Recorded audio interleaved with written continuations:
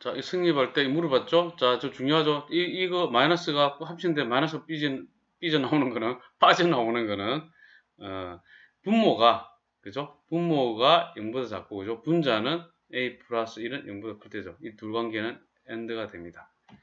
어, a가 1보다 작고, 그죠? a가 마이너스 1보다 크고. 그러면 마이너스 1보다 크고 a가 1보다 작다. 이렇게 되지 않습니까? 그럼 a가 0이라 생각하면 되죠. 0을 넣었을 때 생각하면 되겠죠. 그 사이에 있는 수를 간단하게. 그러면 5 빼기 0은 양수가 되니까 저거는 5 마이너스 a 그대로 됩니다. 자, 그럼 0을 하면 이건 음수 되죠. 음수니까 마이너스 거 플러스 시켜주고 a 마이너스 3이 돼야 됩니다. 는.